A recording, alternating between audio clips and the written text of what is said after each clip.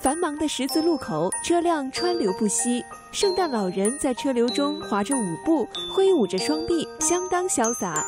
有趣的是，司机们完全没有因为这位穿红衣、戴红帽的白胡子老头而开错车道，反而更有序地通过了十字路口。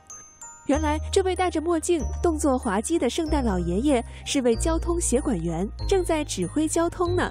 这里是菲律宾帕塞市，过路人脸上的笑容证明这个白胡子老头真是人见人爱。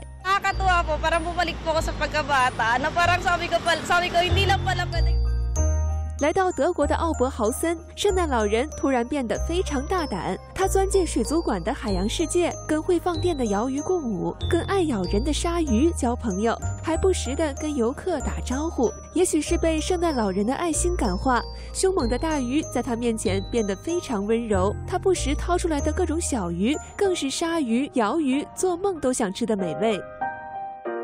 最开心的要数来海洋世界游玩的小朋友了。他们不但被五颜六色的鱼类吸引，更因为见到了水中的圣诞老人，兴奋得停不住嘴，迈不开腿。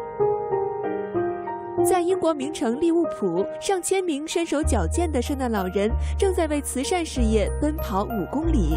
雨后出晴的街道非常干净，这项重在参与的体育活动充满了欢声笑语，完全没有比赛的紧张。沿途洋溢着欢快的节日氛围，这是利物浦的每年一度的传统活动。二零零五年，这项比赛还被吉尼斯认证为世界上最多圣诞老人参加的聚会。新唐人电视台记者任浩综合报道。